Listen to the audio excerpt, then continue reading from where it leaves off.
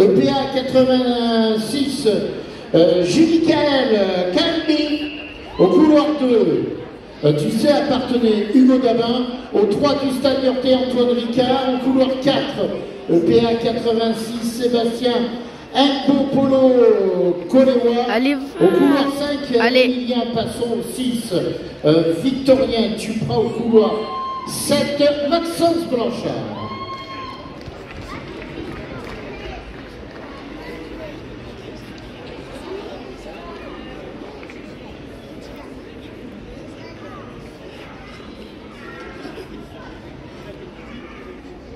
Allez, il va pas aller.